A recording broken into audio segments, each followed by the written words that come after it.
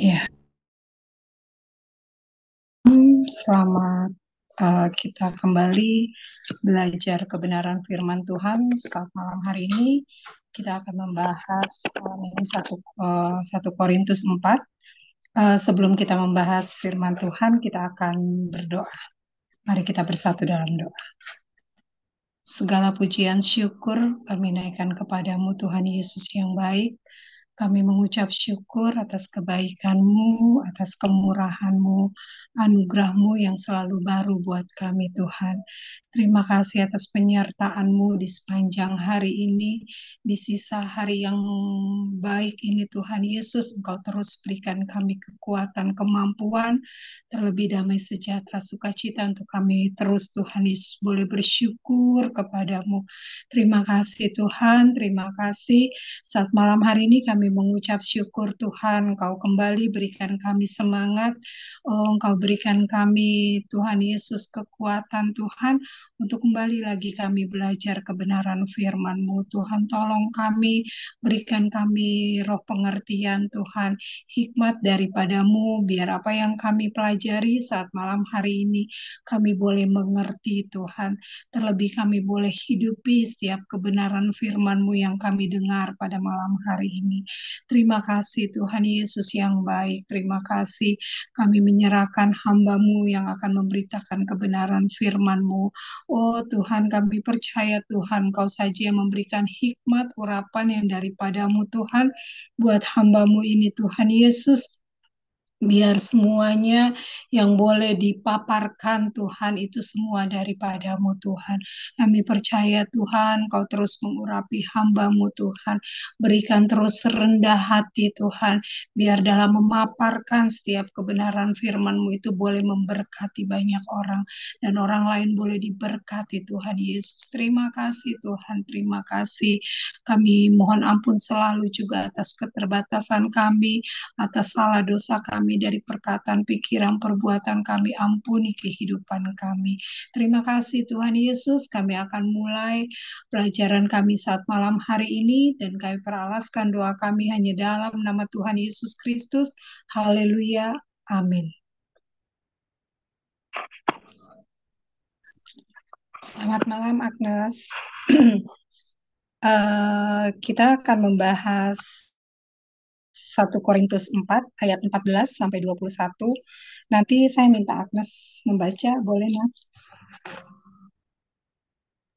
1 Korintus 4 ayat berapa kalian? Ayat 14 sampai 21. Oke. 1 Korintus 4 ayat 14 sampai 21. Hal ini kutuliskan bukan untuk memalukan kamu, tetapi untuk menegur kamu sebagai anak-anakku yang kukasihi. Sebab, sekalipun kamu mempunyai beribu-ribu pendidik dalam Kristus, kamu tidak mempunyai banyak bapa. Karena akulah yang dalam Kristus, Yesus telah menjadi bapamu oleh Injil yang kuberitakan kepadamu. Sebab itu, aku menasehati kamu, turutilah teladanku. Justru itu, justru itulah sebabnya aku mengirimkan kepada Timotius yang adalah anakku yang kekasih dan yang setia dalam Tuhan. Ia akan memperingatkan kamu akan hidup yang kuturuti dalam Kristus Yesus, seperti yang kuajarkan di mana-mana dalam setiap Jumat. Tetapi ada beberapa orang yang menjadi sombong karena mereka menyangka bahwa aku tidak akan datang lagi kepadamu. Tetapi aku akan segera datang kepadamu kalau Tuhan menghendakinya. Maka aku akan tahu bukan tentang perkataan orang-orang yang sombong itu, tetapi tentang kekuatan mereka. Sebab kerajaan Allah bukanlah terdiri dari perkataan, tetapi dari kuasa. Apakah yang kamu kehendaki? Harus aku datang kepadamu dengan cambuk atau dengan kasih dan dengan hati yang lemah lembut? Ya. Makasih, Nas.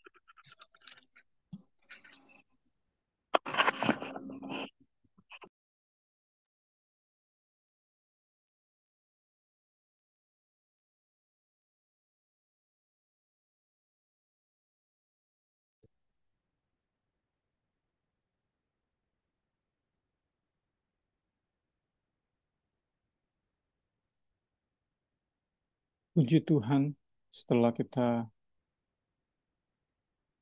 melewati hari yang melelahkan, kita bersyukur masih diberi kesempatan, diberi semangat untuk kita kembali belajar firman Tuhan. Kita percaya semangat kesempatan itu berasal dari Tuhan.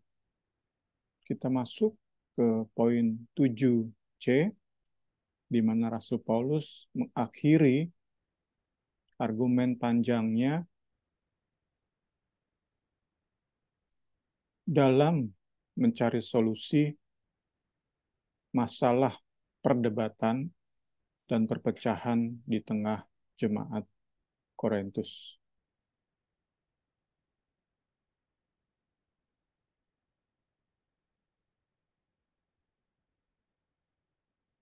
Kita masuk ke pendahuluan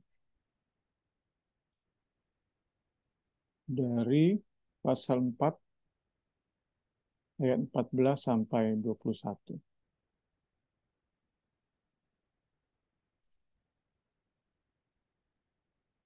Argumen panjang Paulus, beberapa rangkaian argumen dan analogi atau ilustrasi yang Paulus gunakan itu dimulai dari pasal 1 ayat 10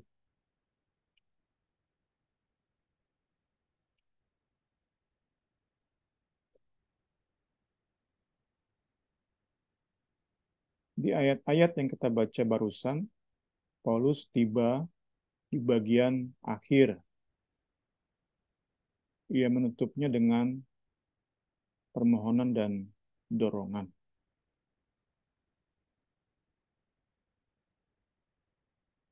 Tetap menjadi beban Rasul Paulus adalah bagaimana otoritasnya dipertanyakan oleh jemaat Korintus. Paulus tetap mencari jalan agar surat yang ia tulis dihargai di tengah jemaat Korintus. Tentu ia tidak mau suratnya hanya jadi bungkus kacang goreng. Ia rindu suratnya bukan sekadar dibacakan, tetapi juga ditaati oleh jemaat. Kita sudah bahas bagaimana beberapa pimpinan dari jemaat ini terang-terangan bersikap anti Paulus, menolak kerasulannya. Para pemimpin ini juga mempengaruhi banyak jemaat. Kita tidak tahu persis prosentase jumlah jemaat dibandingkan keseluruhan jemaat yang terpengaruh untuk bersikap anti Paulus. Tetapi tampaknya secara tersirat kita bisa pahami bahwa cukup banyak jemaat yang merendahkan otoritas Paulus. Tentu saat jemaat merendahkan otoritas Paulus, maka surat yang ia tulis pun tidak mengandung kuasa, akan dianggap angin lalu. Itu yang menjadi problem Paulus. Karena itu di bagian akhir ini, ia akan menyertai dengan metafora atau analogi pamungkas, yaitu hubungan antara Bapa dengan anak. Analogi ini Paulus gunakan untuk menegaskan otoritas Paulus. Ia sebagai Bapa satu-satunya orang yang bisa disebut Bapa terhadap jemaat Korintus. Karena jemaat Korintus, gereja Korintus berdiri karena peran kerasulan Paulus. Pauluslah yang mendirikan jemaat Korintus. Jemaat Korintus pertama kali mendengar Injil lewat Rasul Paulus.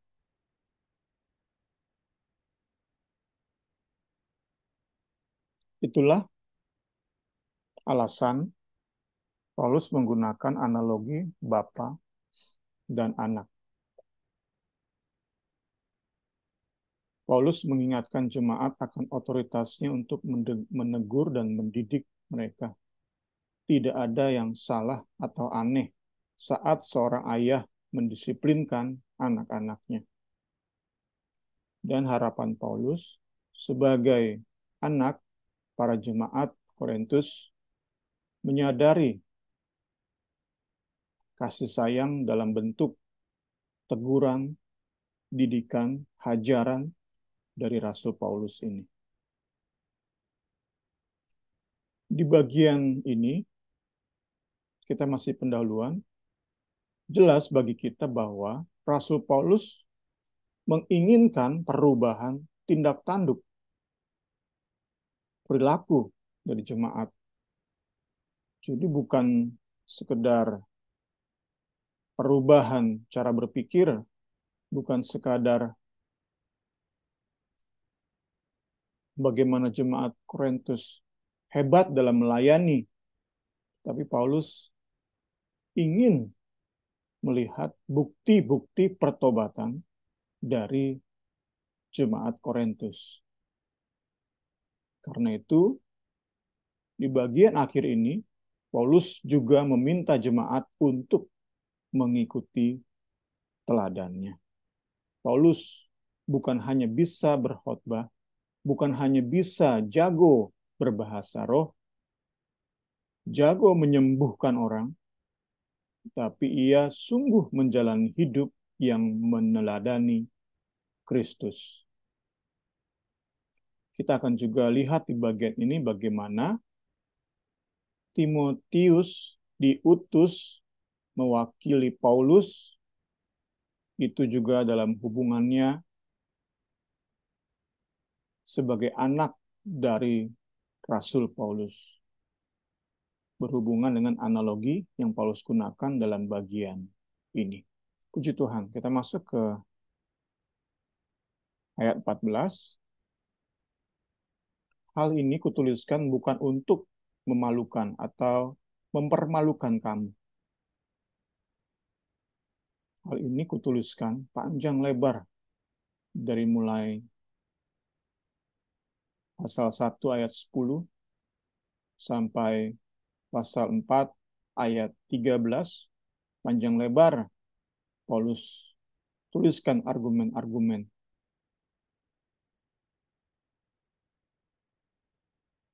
bukan untuk mempermalukan kamu. Kita sudah lihat bagaimana kerasnya Paulus menegur jemaat dengan gaya bahasa sakar sarkasme. Paulus menyindir jemaat Korintus. Sedikit banyak pasti mengakibatkan ketersinggungan. Pasti ada jemaat yang merasa dipermalukan. Itu efek yang Paulus sudah bisa bayangkan. Karena itu, Paulus tegaskan di ayat ini, meski mungkin ada yang merasa dipermalukan, tetapi bukan itu tujuannya.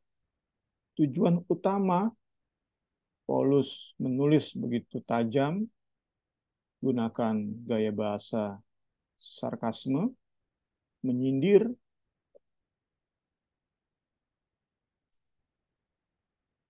itu bukan semata-mata untuk mempermalukan, tetapi untuk membawa jemaat kepada pertobatan.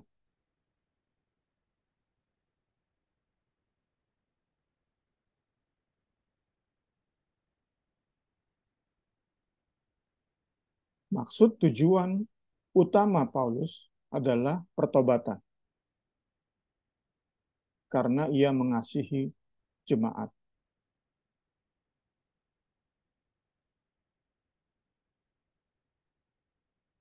Untuk mengungkapkan tujuan tersebut, Paulus di bagian ini, di ayat 14 ini, memanggil jemaat dengan sebutan anak-anakku yang kukasihi.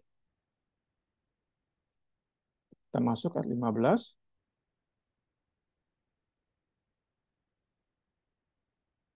Panggilan anak-anakku yang kukasihi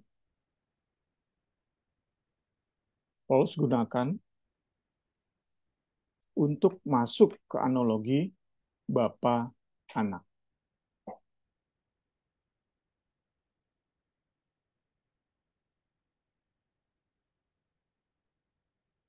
Ia menggunakan gambaran ini dalam dua cara.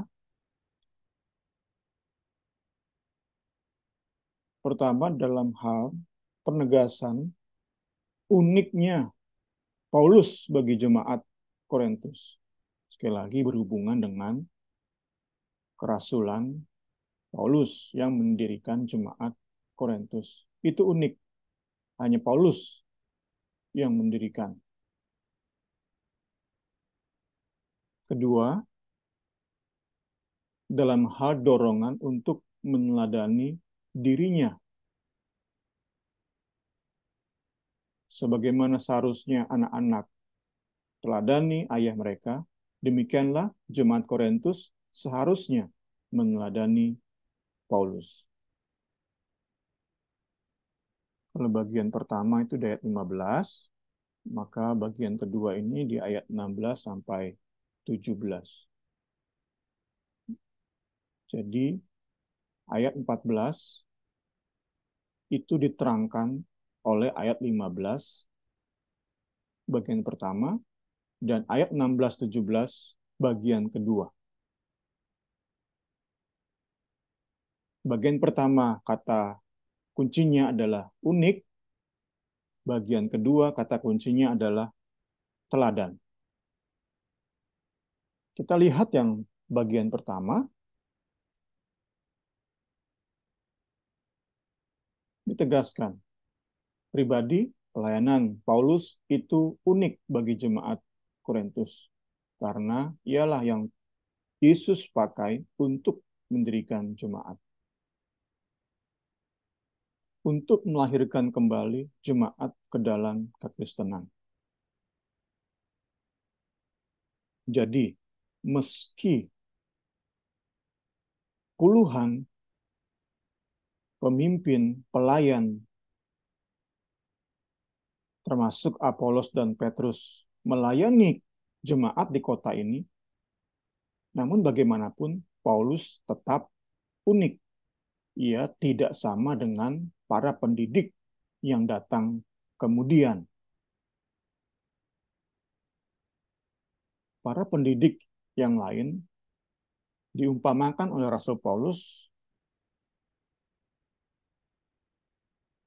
sebagai guardian.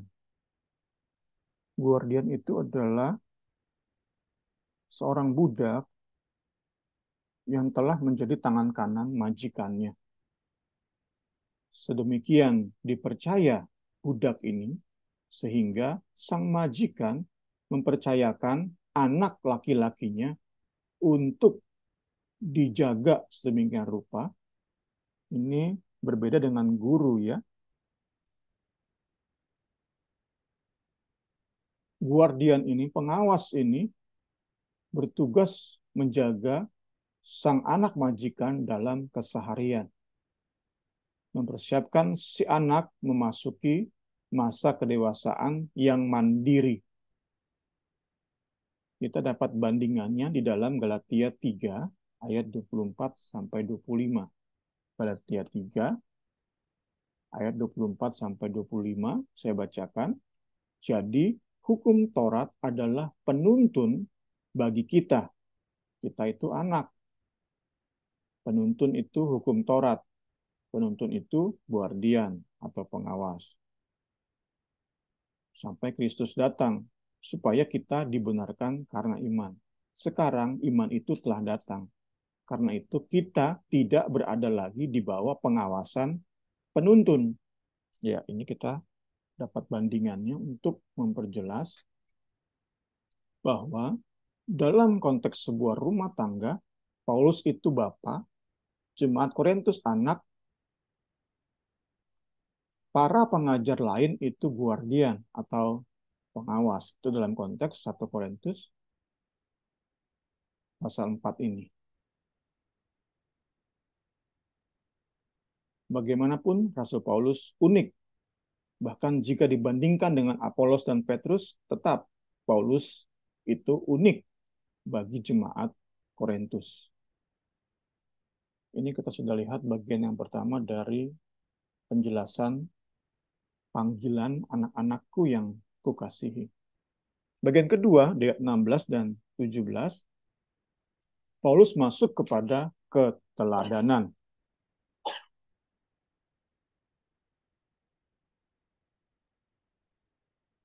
Ya, ini bagian yang sulit.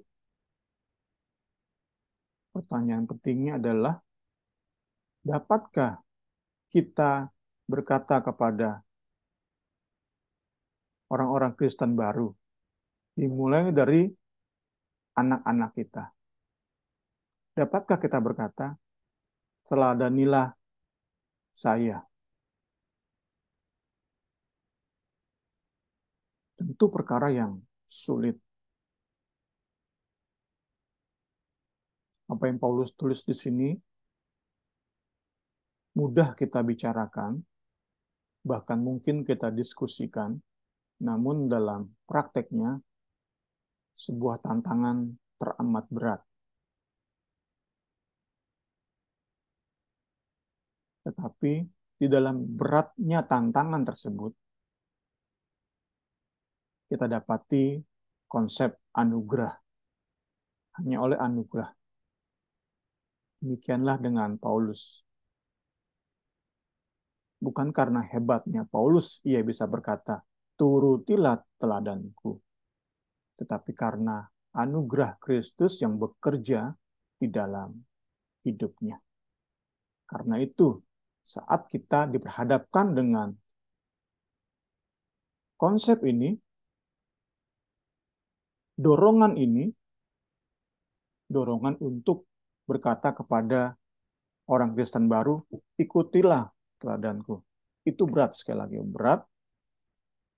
Namun jangan sampai beratnya konsep ini membuat kita mengandalkan diri sendiri, mencari metode-metode supaya kita dengan bangganya bisa berkata, ayo ikuti aku, teladani aku. Tapi biarlah konsep ini lebih merendahkan hati kita untuk menjadi orang-orang yang bergantung pada anugerah Kristus. Puji Tuhan, puji Tuhan.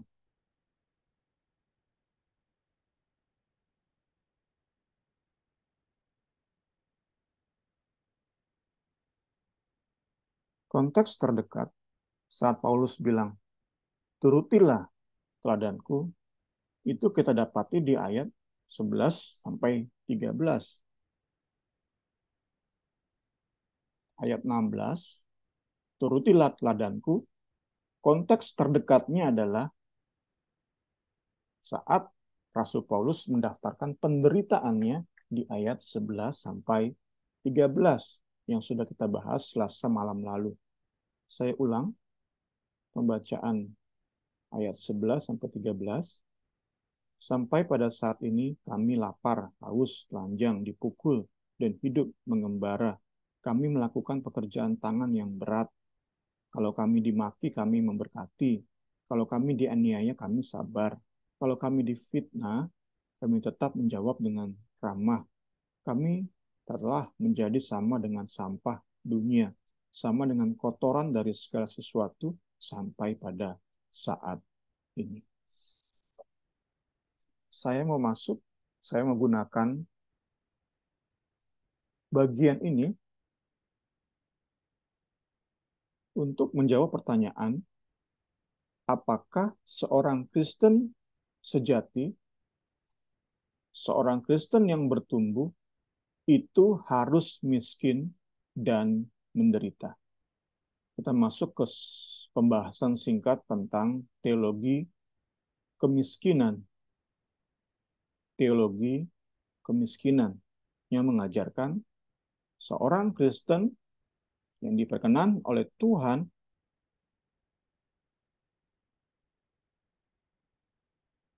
adalah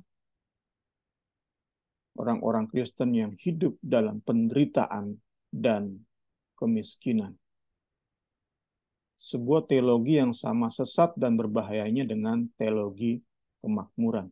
Sama-sama sesat, sama-sama berbahaya. Karena keduanya sama-sama menganggap tidak sempurna karya keselamatan Kristus di Kalvari. Dengan berkeyakinan bahwa iman kepada salib tidak cukup, harus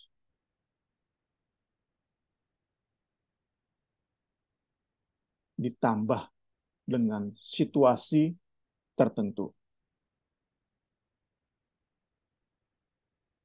Kondisi tertentu. Saya ingin menambahkan tentang bagian ini dari buku karangan Dallas Willard yang berjudul Membangkitkan Kembali Semangat Disiplin Rohani. Buku ini bagus untuk memberi kita pemahaman yang benar terhadap disiplin rohani.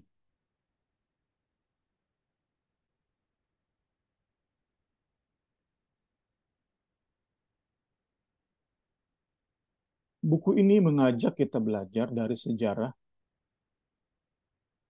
mengenai disiplin rohani yang salah.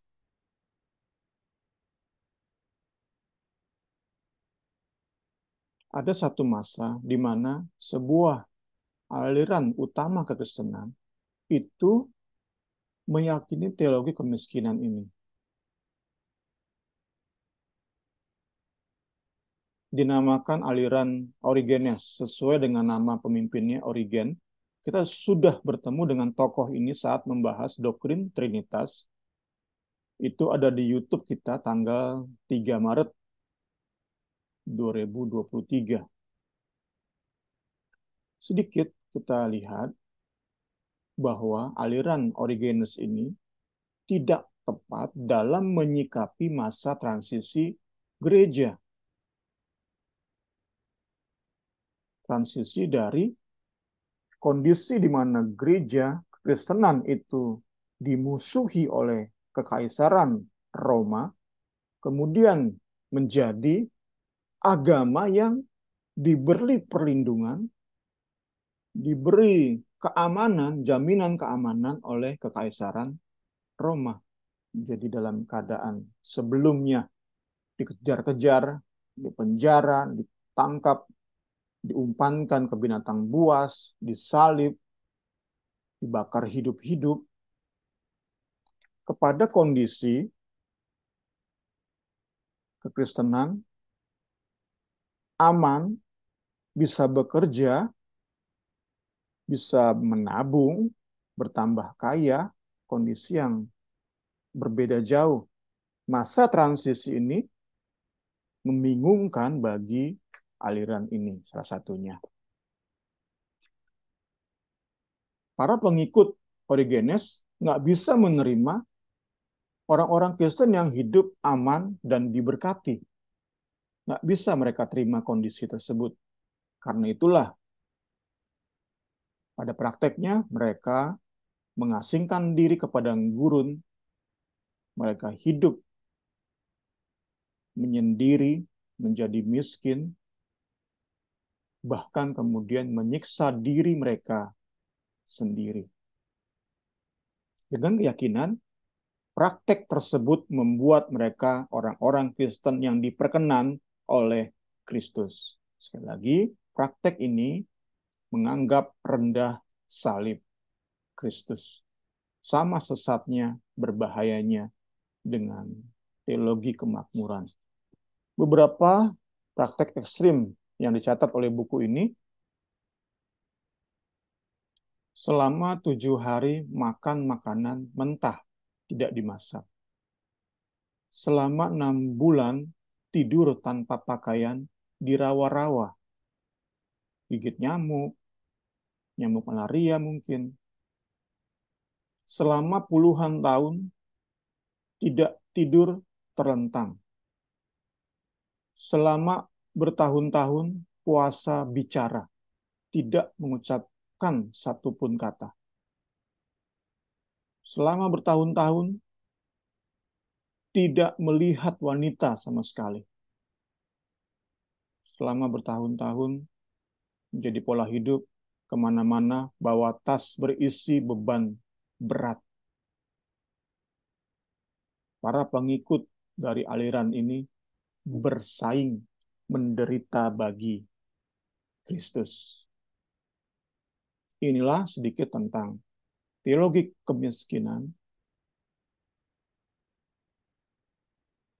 yang membuat kita sesat,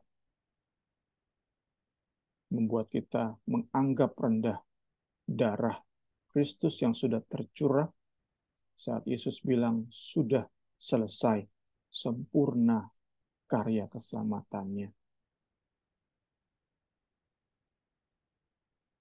Karena itu saat Paulus hubungkan menjadi teladan dengan hidupnya yang menderita, itu bukan sedang mengajak jemaat semata-mata untuk menderita demi Kristus, tetapi tentang motivasi. Motivasi meneladani Kristus apa pun risikonya. Saat kita menghadapi dunia yang berubah di mana kekristenan tidak lagi ditekan, kita bisa bekerja dan mencari uang, maka tentu teladan salib itu bentuknya berbeda, bukan seperti yang dicontohkan oleh orang-orang Origenes.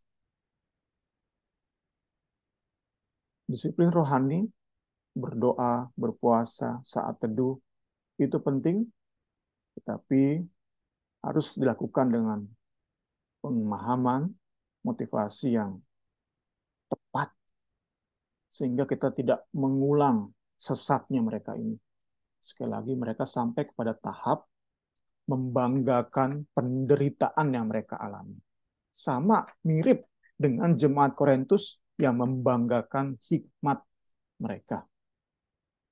Ini kurang lebih terjadi di tahun 300-an, abad keempat pengikut Origenes membanggakan penderitaan mereka. Sehingga saat mereka ngobrol, tahu kapan ngobrolnya ya, mungkin dengan melihat orang lain dipandang sebelah mata. Gua ini puasa nggak bicara setahun. Lu bukan Kristen yang benar lu. Lu Kristen kanak-kanak lu. Gua ini puasa nggak bicara satu tahun. Itu yang terjadi saat itu. Betapa sesatnya. Kita tidak mau semangat kita melakukan disiplin rohani membawa kita kepada kesesatan. Kuncinya tadi, anugerah yang bekerja dalam hidup kita. Saat kita semakin hari semakin kagum terhadap Kristus, karya keselamatan ia kerjakan di Kalvari, maka itu akan mengkondisikan kita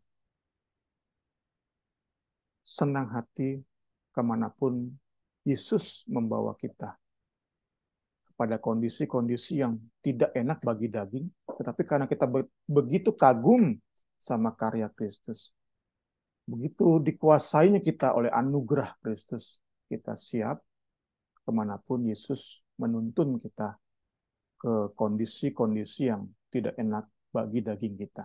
Tapi sekali lagi, bukan berarti kita menyiksa diri sendiri untuk atau demi keselamatan, demi hidup yang kekal.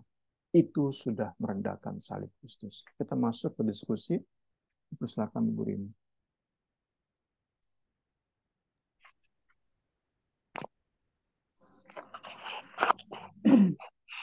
Ya, teman-teman, selamat malam. Kak Suci, Agnes, mungkin ada tambahan atau pertanyaan? Boleh dari ayat 14, 15, 16, 17 yang sudah dipaparkan.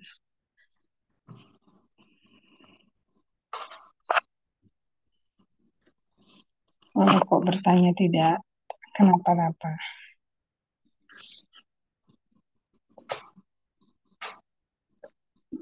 Enggak, enggak dulu Mari. Masih Oke. menyimak aja. Oke, Kak. Oke, kalau gitu kita lanjut dulu ya.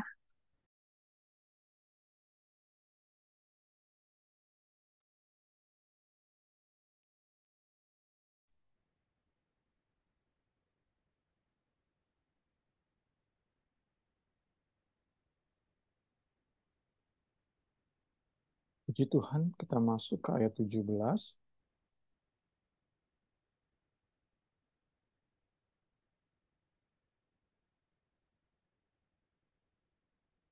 Timotius adalah anak rohani dari Rasul Paulus. Anak rohani yang terbukti benar-benar mengikuti teladan Paulus. Ia diutus Paulus untuk menginspirasi jemaat dalam hal keteladanan. Jadi sekali lagi, erat hubungannya analogi Bapak anak dengan pengutusan Timotius ke jemaat Korintus. Saat ditanya kenapa, bukan Paulus yang datang sendiri.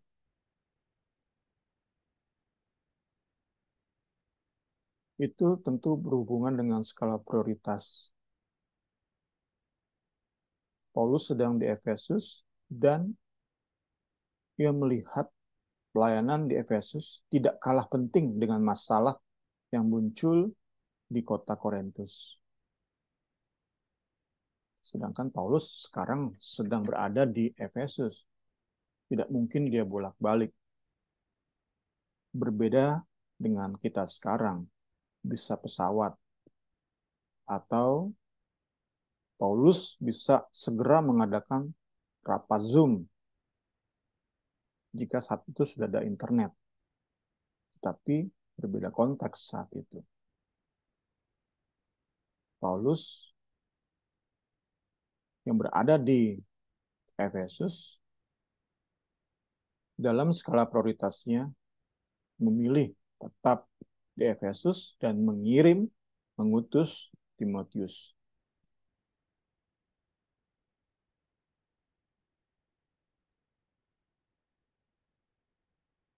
Kemudian kita lihat bahwa tugas Timotius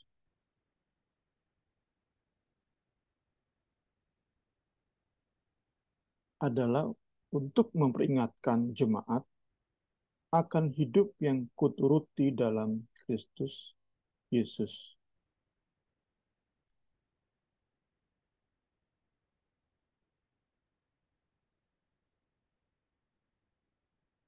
Hidup yang kuturuti itu way of life dalam bahasa Inggris, tetapi dalam bentuk jamak.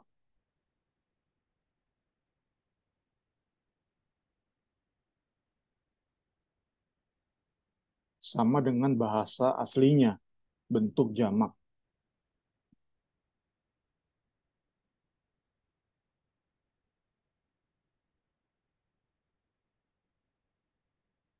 Jalan hidup itu menunjuk kepada baik pengajaran maupun perilaku. Dalam hidup Paulus, keduanya terikat menyatu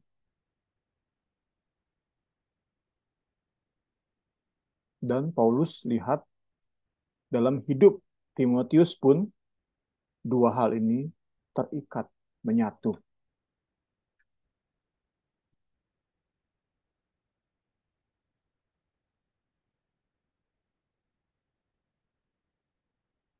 Paulus rindu saat jemaat Korintus melihat Timotius, jemaat Korintus terinspirasi untuk juga mengikuti teladan Paulus sebagaimana Paulus mengikuti teladan Kristus. Ayat 18 Paulus menyimpulkan bagian ini dengan memberi peringatan keras bagi para pembuat masalah.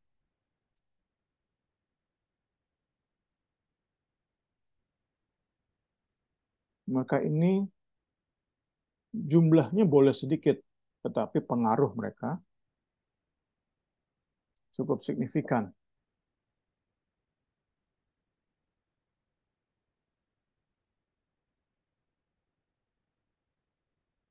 Karena itulah Paulus memberi ancaman spesial, ancaman khusus bagi mereka-mereka ini. Kita lihat itu di ayat 19 sampai 20. Ancaman Paulus untuk datang dan menertibkan pembuat masalah ini itu berkaitan dengan kekuatan atau kuasa yang mereka anggap ada di hidup mereka. Mereka merasa otoritas mereka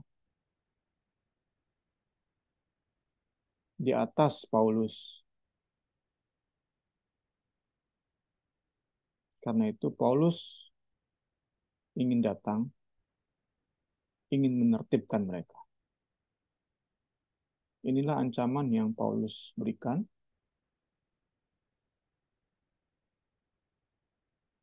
Paulus yakin para pembuat masalah ini hanya jago berkata-kata,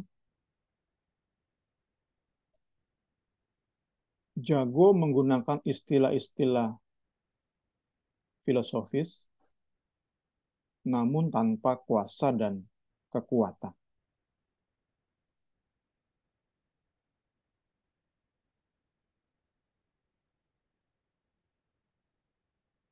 Mereka hanya jago di logos, tetapi tanpa dinamis. Dengan Paulus punya logos, meskipun dianggap sederhana, namun logos Paulus itu disertai dengan kuasa Allah. Paulus ingin datang,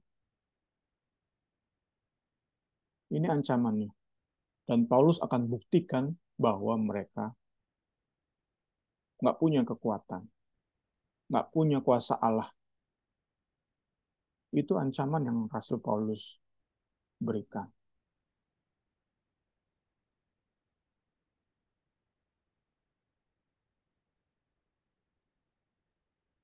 Jadi kita bisa lihat di sini sesuai dengan keyakinan Paulus bahwa para pengacau ini banyak ngomong, banyak berdiskusi mungkin, bermain dengan retorika, namun mereka tidak punya pengaruh ilahi.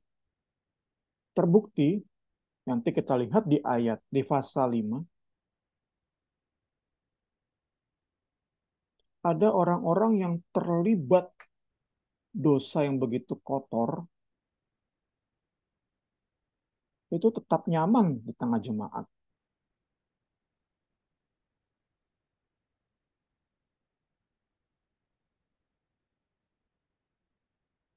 Kita lihat kan di ayat di pasal 5, Paulus membahas percabulan, percabulan yang begitu rupa yang tidak terdapat sekalipun di antara bangsa-bangsa yang tidak mengenal Allah. Jadi dosa yang ada di tengah jemaat Korintus itu parah.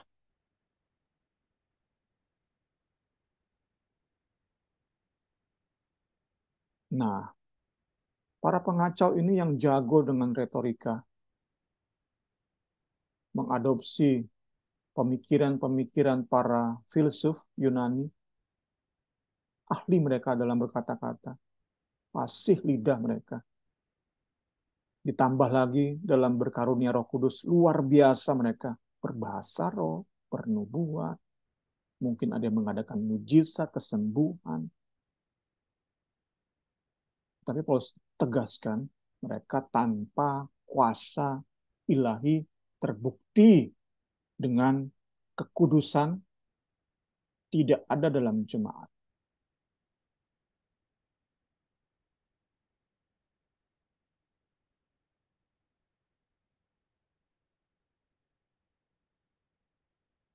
Ini kita dapati dalam fenomena gereja zaman now, gereja modern. Banyak gereja-gereja mempraktekkan berbagai disiplin rohani. Doa puasa, Bible study seperti kita. Banyak disiplin rohani. Pembacaan satu pasal satu hari boleh banyak ritual-ritual. Tapi jika tidak disertai dengan kuasa Allah, maka semua ritual itu menjadi kosong.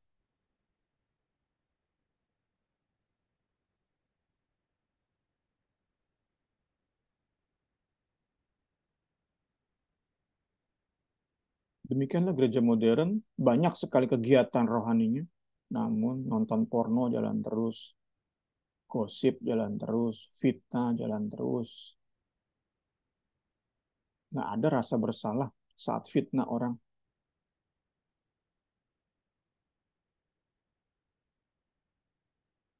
Saat selingkuh,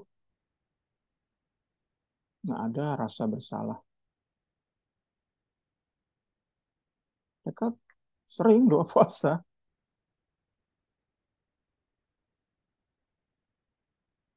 Ritual tanpa kuasa. Itu yang disoroti oleh Rasul Paulus di bagian ini.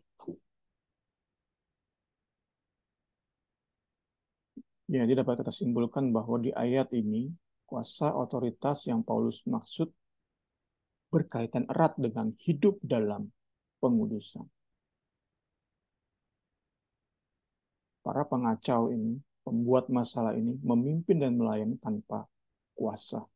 Tetapi berani-beraninya, lancang mereka merendahkan Paulus. Hanya karena khotbah Paulus terlalu sederhana bagi mereka. Betapa arogannya orang-orang ini.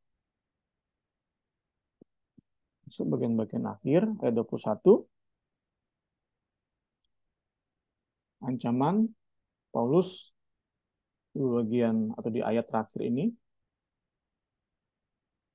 dalam bentuk pilihan. Pilihan pertama, Paulus sendiri datang dengan cambuk.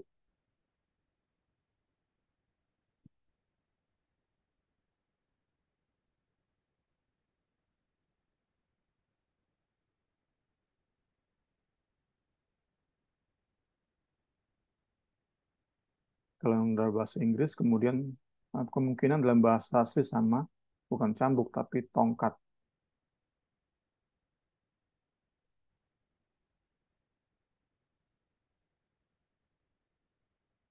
Yaitu jika mereka tidak menanggapi positif Timotius dan surat yang ia bawa. Itu pilihan pertama.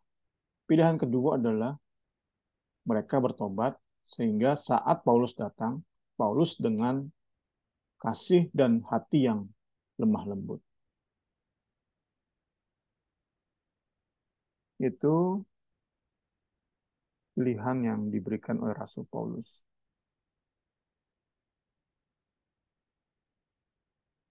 Lemah lembut di sini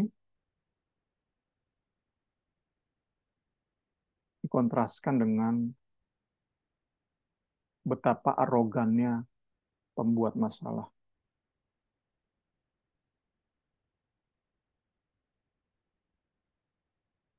Jika yang arogan bertobat, maka Paulus datang dengan lemah lembut.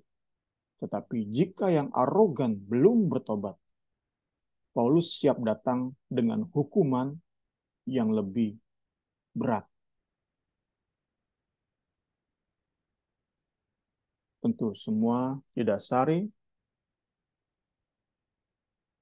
dengan kasih.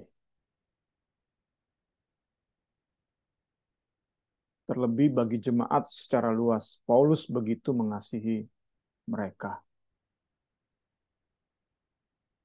Mereka yang terbawa-bawa pengaruh buruk dari para pengacau ini. Paulus begitu mengasihi mereka. Sehingga meskipun keras surat ini, tetapi dimaksudkan untuk kebaikan. Puji Tuhan masuk ke penutup dari bahasan kita malam hari ini.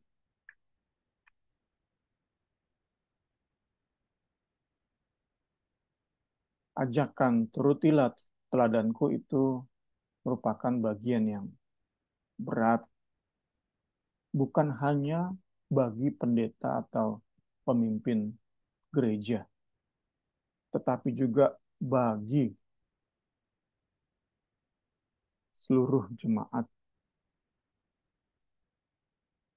terutama mereka yang terlibat dalam pelayanan. Dapatkah kita berkata kepada orang-orang yang baru percaya, turutilah teladanku? Dapatkah? Itu menjadi pertanyaan reflektif bagi kita bersama. jika kita hubungkan tadi dengan ways of life, dapatkah kita berkata, turutilah teladan hidupku dan pengajaranku. Dapatkah kita seperti itu bagi jemaat yang baru mengenal Kristus?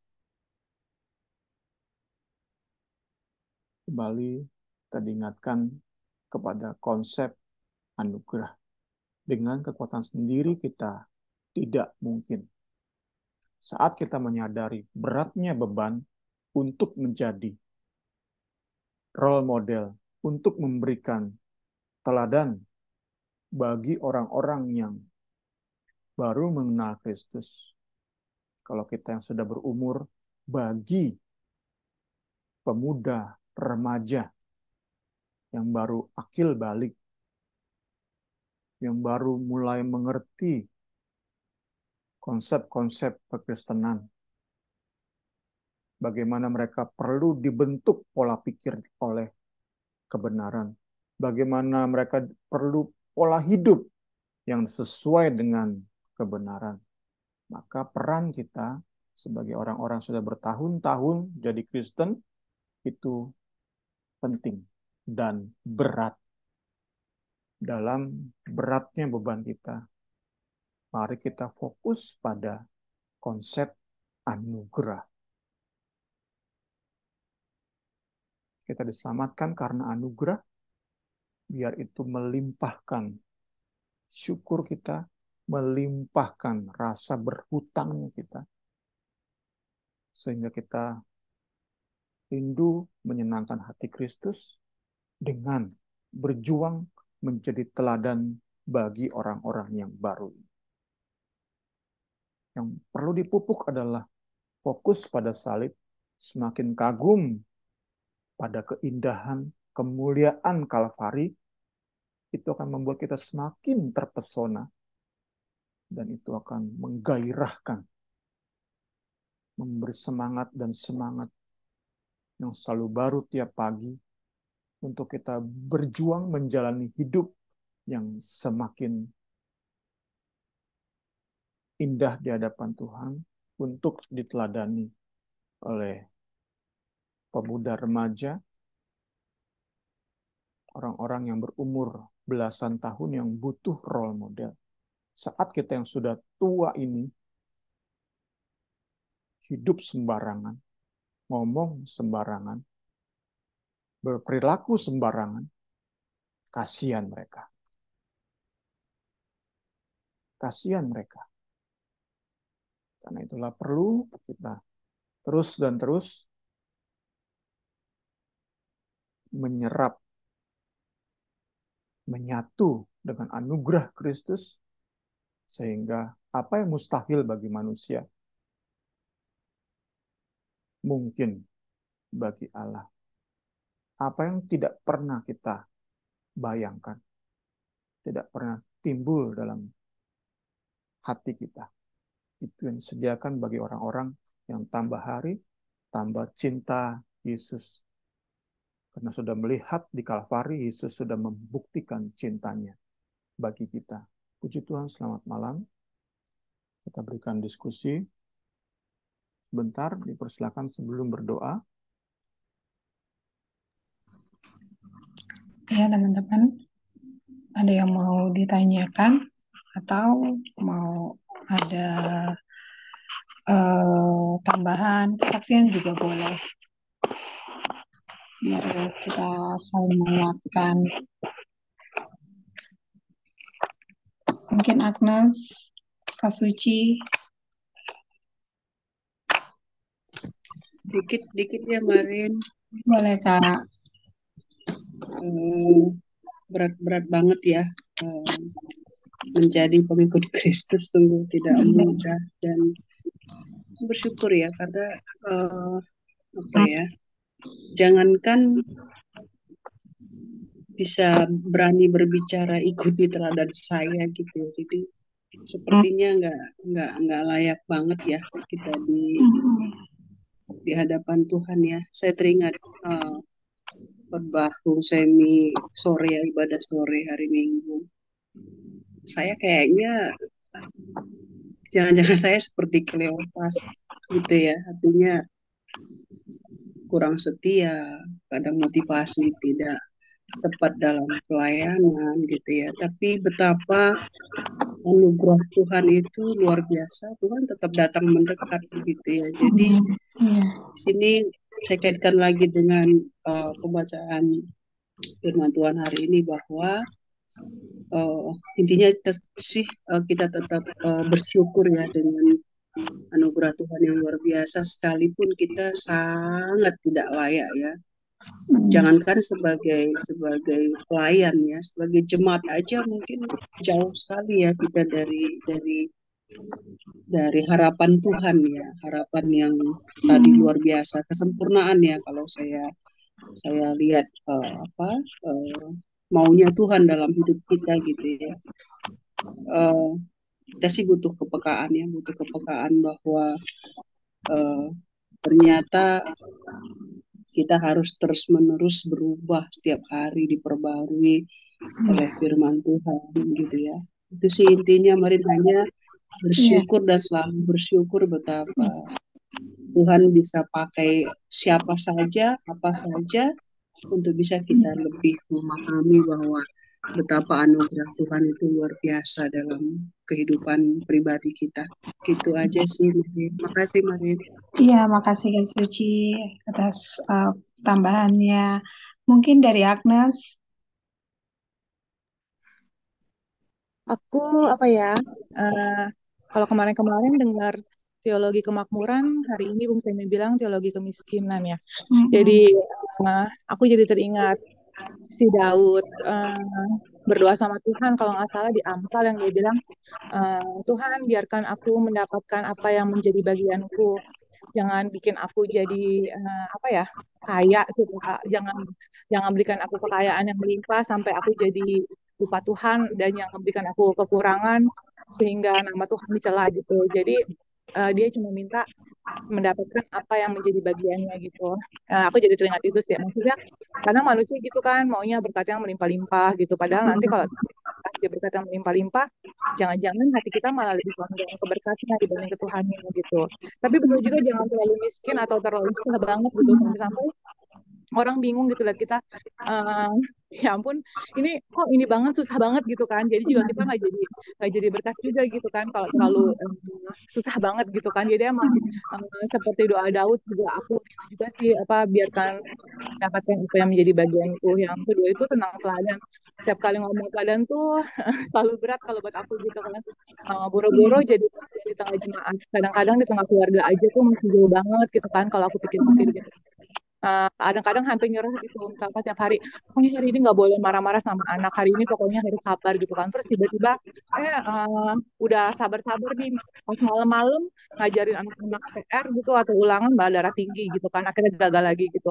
Sampai kayak nyerah gitu kan Tuhan kayaknya aku udah nyerah banget nih nggak bisa berubah kali ya makan karakternya kayak gini. Terus aku ingat-ingat lagi Tuhan aja nggak pernah nyerah sama aku gitu. Masa aku mau nyerah juga gitu. Emang ya prosesnya panjang semakin mengandalkan mengandalkan diri sendiri.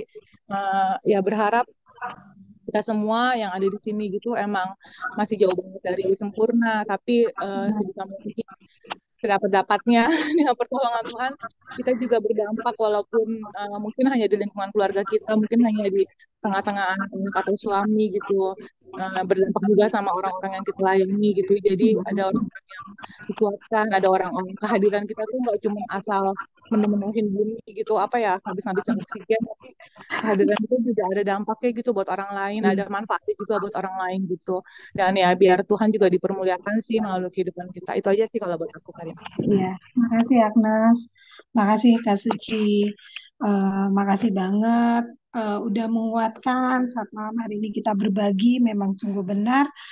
Kalau uh, kita sungguh apa ya perlu banget anugerah Tuhan. Memang kalau misalnya mau lihat dari keseharian mau cari teladan, apalagi kayak aku gini mau cari teladan bingung ya.